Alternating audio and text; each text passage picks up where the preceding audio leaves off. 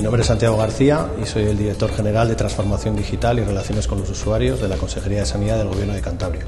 Básicamente el, CEO del Sistema Sanitario Público Cantabria, en especial del Servicio Cantabro de Salud. Bueno, nuestra organización tiene un reto que es eh, realizar una transformación de los sistemas de información eh, sanitaria que mejore la, experiencia de usuario y, la calidad del servicio. Pues estamos colaborando con AWS en, varios, en varios eh, proyectos.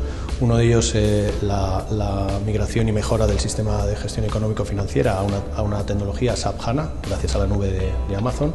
Otro de los proyectos principales que estamos abordando con Amazon es el proyecto EDEN de Real World Evidence para facilitar la investigación sobre datos eh, en salud y donde Amazon pues, nos, ha, nos ha facilitado las cosas enormemente.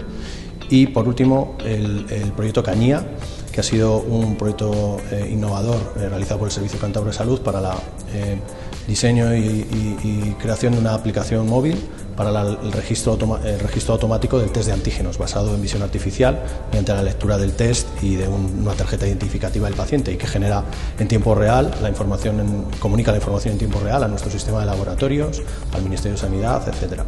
Y por el cual bueno, nos, han, nos han dado hasta un premio en la Sociedad Española de Informática de Salud. Yo diría que Amazon lo que, lo que facilita es la, vida a los departamentos de TIC, de, las organizaciones, porque eh, hace que nos podamos, nos podamos enfocar en el negocio, en el core del negocio, y soluciona muchos problemas de despliegue de, tecnología que de otra manera pues, nos llevaría mucho más tiempo. ¿no?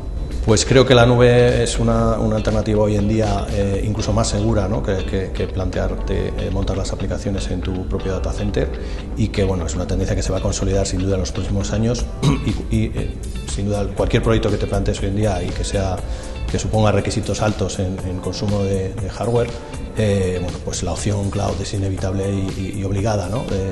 planteártela para, para cualquier proyecto futuro.